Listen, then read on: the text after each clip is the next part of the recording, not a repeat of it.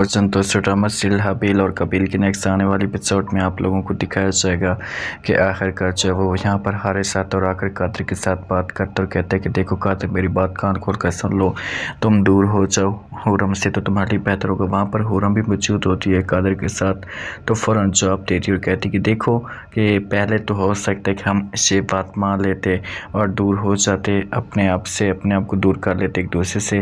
लेकिन अभी हमारी जिद बन चुकी और देखो हारिस तुमने शादी की सोबिया के साथ, उसके साथ ज़िंदगी गुजार रहे हो। खुश हो गए ना तुम? तो अब मुझे भी कदर के साथ ज़िंदगी गुजारने दें। मैं अपनी मर्ज़ी के मुताबिक ज़िंदगी गुजारना चाहती हूँ। दोबारा अपने बीच में बात करने की कोशिश नहीं करनी।